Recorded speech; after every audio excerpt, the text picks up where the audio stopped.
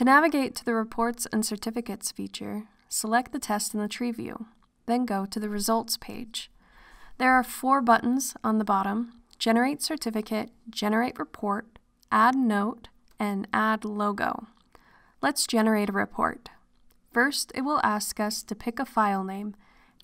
In just a few seconds, a PDF file will generate with all the information from that test, including color graphs. You can save this file to a cloud-based system, email it, print it, even airdrop it to anyone in the room. When you press the Generate Certificate button, AudCal will prompt you for a signature. You can sign a new one every time, or select any number of options, including importing a graphic of your signature, or save one to reuse again and again in AudCal. This signature is associated with the technician name on the test, making it easy to reuse the same signature.